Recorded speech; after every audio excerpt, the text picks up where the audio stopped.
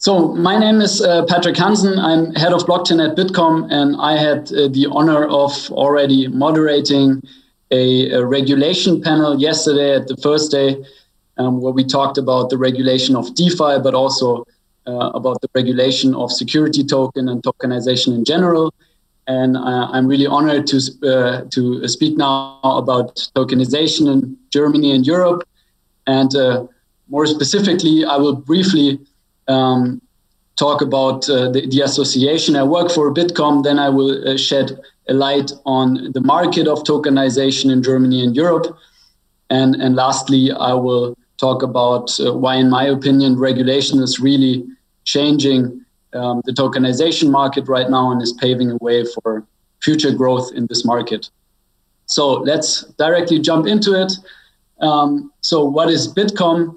And Bitkom is basically the association of digital businesses here in Germany. And in terms of member companies, it's the largest association of uh, digital companies in Europe. We have over 2,000 member companies in total. And uh, also in the blockchain sector, I think uh, we can say that we are by far the largest and the most active cross industry company network. You see that many of the companies that have been presenting at the conference here are part of Bitkom, if, if not most of them. And uh, together with uh, all those member companies, we drive um, those regulatory topics in Germany, of course, also in Europe through uh, consultations, position papers, meetings, etc. But apart from our political and lobbying work, we do a lot of uh, cross industry publications as well um, through white papers, uh, for example, on DeFi, the digital euro, self-sovereign identity, and, and, other topics. And and as one example, we published last year the first and uh, I think also the only representative study research on the adoption of blockchain technology in Germany. I will present some of the results today. And of course, another big part of our association is the network building, the knowledge sharing between our members through uh, very frequent uh, meetings, events, uh, and working group meetings. So uh, if you're interested in, in driving all those developments, uh, feel free to reach out. Um, but let's now get to the topic of today's presentation, tokenization. And uh, before starting and giving you um, some stats and some figures about, about where we stand right now, about what the state of tokenization is in Germany and Europe, quickly a recap of the definition. Um, so I posted here the, the, the BaFin definition, so the definition of the German Financial Supervisory Authority. Um, but in short, uh, one can say that basically tokenization is the process of uh, representing digitally a certain right or asset on a distributed ledger technology uh, or a blockchain. Um, of course, the BaFin, BaFin as authority is always reluctant uh, of using the, the term blockchain or DLT since it has to stay technology neutral, but in essence, it, it says the same. And uh, I mean, the, the, the advantages of tokenization have been touched very often already here at the conference. I won't get too much into detail, but basically, it's lower cost. Um, faster settlement and better settlement, a higher transferability, a, a bigger liquidity, and also obviously a greater transparency of the whole tokenization process. So basically, if we look at the market in Germany right now, let's start by really um, looking uh, at the bigger picture. Where do we stand in the blockchain space? And one can say, at least in Germany, so this is these are very these are really representative figures here. And uh, unfortunately, one must acknowledge and one must say that blockchain within the larger economy is not yet a bigger subject. Um, not necessarily because companies are skeptical or hostile towards blockchain, um, but all, but but um, but um, mainly because you see that here on the on the right side that just companies not know more about blockchain have never dealt with blockchain technology, and this is also a clear mandate for us as industry and of course um, for Bitkom as industry association to not only talk to regulators and political stakeholders, but really to drive the whole topic of blockchain and tokenization towards um, the larger society and, and, the larger economy, especially SMEs. if we zoom in, um, amongst those companies that are interested in blockchain technology and, uh, and have already started some use cases, um, it, it seems very clear where the greater potentials are seen. Um, so basically, the use case uh, with the highest um, ratings here is blockchain as a decentralized transaction system. Um, and then number two, three, and four are basically blockchain for the secure management of uh, keys and rights, blockchain for more traceability along the value chain. And I think those ratings here are basically a very good proxy that uh, the German economy sees a great potential for blockchain, um, uh, for um, the technology of blockchain for tokenization, for the process of tokenization. Of course, this study was uh, um, was done uh, in end of 2018. So if we look at the last aspect here, the funding is still highly influenced by the whole ICO bubble, bur- bubble burst. I guess uh, we will repeat that study next year, uh, early next year, and I expect really different numbers there. Um, but if we zoom further in, and this is what is very interesting to me, if we look at how the financial industry responded to our survey, we see that they are compared to the total economy far ahead. Um, they are already more uh, in action when it comes to blockchain generally. But uh, more interestingly, if we look at the middle, uh, at, at, the lower middle um, a graph or, or, or figure, we see that basically almost two thirds of financial companies, so all sizes included, also uh, SMEs, see a great potential or rather great potential um, for the securitization of real goods and financial securities in blockchain. So this is basically the best proxy for the potential of tokenization that we have, and I think it it it shows how how optimistic the financial industry here, also smaller players in Germany, are when it comes to the use of blockchain for tokenization. But maybe let's um, zoom out a little bit from Germany and look at uh, a broader uh, figures here. Um, we see that the number of STOs, which will probably the next uh, uh, major wave of tokenization, is increasing quite substantially, especially within the financial services industry. And then, if we look at where in Europe uh, those uh, STOs are conducted, um, we see that especially the DACH region, or or um, more accurate, accurately, Germany, Liechtenstein, and Switzerland, so uh, Austria is not included, are really um, paving the way here and are really at the forefront of tokenization. And this is mainly due, I think we can say that, to regulation, which we will um, touch later on in this presentation. Um, this, this has also already been mentioned, but just a quick look at the market projection for tokenization globally. The only thing I would like to add here is um, you see that on the left hand side, those are two uh, figures from two young crypto custodians. And you see here that um, basically the market cap of security tokens, you see that here on the left hand side, is expected to outpace the market for cryptocurrencies very soon. So basically already next year or the year after that.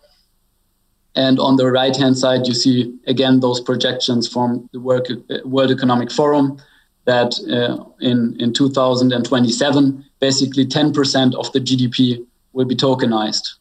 So, also uh, globally, very optimistic projections.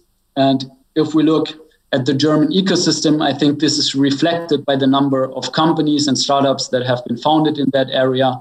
Um, we have a really vibrant ecosystem uh, here in Germany. I borrowed this uh, figure from one of our members, Cashlink, and you can see that you have uh, really uh, many service providers along the tokenization value chain already.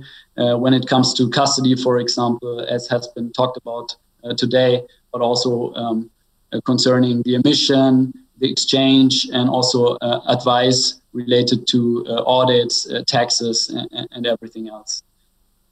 Um, so basically, you see that the ecosystem is optimistic. The companies uh, uh, look forward towards tokenization, and there are also many service providers in place. So, what has been missing these last years to really make this market fly? And this, I think, is quite a clear answer to that question. What was the main roadblocker? The main roadblocker was regulatory clarity by far. Um, of course, there is a lack of investor demand, which is uh, Uh, uh, um, highly related to just the lack of, you know, uh, uh, uh of supply or possible assets that are already traded. But I think the by far the most important point is regulatory clarity, and this aspect, so the aspect of regulation and and political development is will drive the whole tokenization market uh, in the next one or two years. Um, some some arguments why I think uh, this this is uh, this seems so clear to me on a more abstract level. You see here the terminology used by regulators when it comes to uh, uh, crypto assets or blockchain. And on a more abstract level, you see that terminology has really changed from talking about virtual currencies or or mainly Bitcoin at the beginning towards now talking about digital assets, crypto assets, virtual assets. So what we have been seeing on those market projections that basically uh, tokenized securities will soon outpace cryptocurrencies is also acknowledged by regulators. Uh, and you can, this is quite uh, nicely represented here. And on a more specific level, I know this has also been already mentioned at this conference, but just a quick look at both Germany and the EU. What is happening in Germany? So, on one side in Germany, you have a new draft law for electronic securities. So, uh, really a new legal framework for issuing electronic securities in the future. And uh, also the introduction of uh, DLT based crypto securities and a new BaFin license for, for, for the operation of such a, a crypto security register, uh, which will definitely uh, pave the way for more use cases in the future. Um, this proposal will be discussed uh, in the cabinet, so um, with all the German ministers on the 25th of November, and I expect this proposal to enter the parliament um, end of this year and um, if all goes well, probably to be adopted in the spring next year. And on the, on the other side, you have those service providers, which are so important for the tokenization market, also regulated now through, for example, the crypto custody license in Germany. And on the European side, it's quite similar. You have on the right side here the markets and crypto assets regulation, which regulates basically all services, so the issuance, but also all the other financial services on top of crypto assets. So it's a very comprehensive regulation, which which will definitely drive more institutional demand uh, towards the crypto market and, uh, and that will push tokenization. Um, this uh, MiCA proposal from the European Commission was discussed yesterday by the European member states and will probably take a little bit longer than the German um, uh, law. And um, if everything goes well, it might be adopted at the end of next year. But there is then another phase of implementation, an implementation phase, a transitional phase before those rules apply, um, probably in 2023 or end of 2022. And on the other side, and this is really a political milestone in the EU, you have the first pan European sandboxing regime, which basically introduces some regulatory exemptions. We have never seen this kind of pilot regime at the EU level before. And basically, it enables um, DLT based um, multilateral trading facilities to offer uh, and uh, to trade securities without the central securities depository.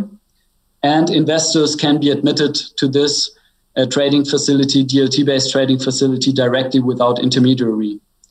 So, this is also something that will definitely uh, push further use cases. I mean, together with our members, our association has um, published a statement on both the German and the EU legislation. We, we, we, we definitely see some criteria, for example, concerning this sandboxing regime that have to be changed in order to make it really attack, uh, attractive for larger and smaller companies, for example, the interoperability or the market volume thresholds. But in total, those two um, uh, uh, jurisdictions, the German and the EU level, are make me both make me both very optimistic uh, towards a further tokenization mass market.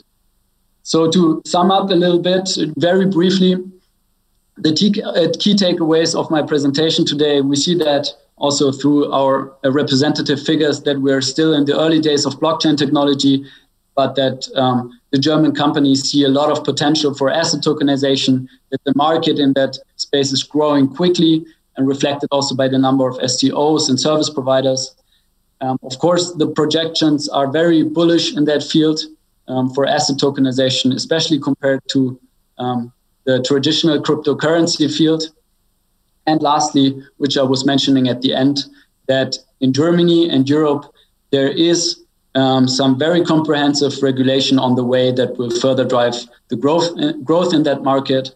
And uh, I would like to conclude with that and invite all the companies and also individuals here that are interested in driving these developments further in the future. Those are both regulations that will stay relevant over the next month and years. And those who are interested, I can only invite everyone to, to join our association and, and to make sure that our voices and our interests as crypto industry are heard and considered along the way. Thank you very much.